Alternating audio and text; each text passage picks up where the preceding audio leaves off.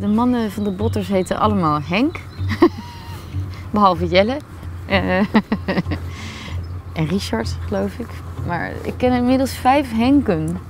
Het is wel heel apart. Misschien is dat een leeftijdskwestie. Denk ik wel. Ze zijn allemaal ontzettend aardig en eh, lief. En ze houden van een borrel. ik kom er niet onderuit. Ze hebben hard voor de zuik en eh, ze werken met liefde aan, aan die boten. Dat, dat kan je zien.